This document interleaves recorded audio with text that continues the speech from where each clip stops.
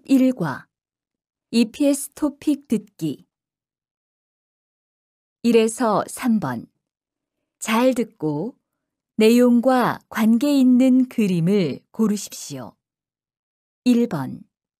수박, 다시 들으십시오.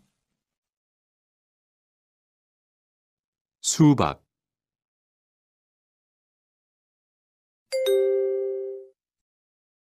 2번. 물. 다시 들으십시오. 물.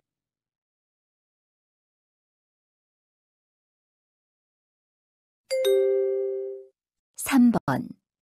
라면 두 개,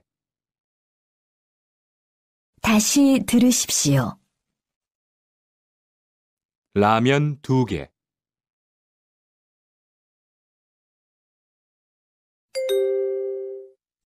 4에서 5번 질문을 듣고 알맞은 대답을 고르십시오. 4번 이 사과 얼마예요?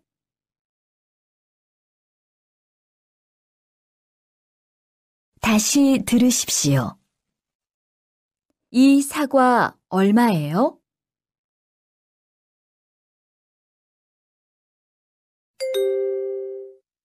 5번 뭘 드릴까요?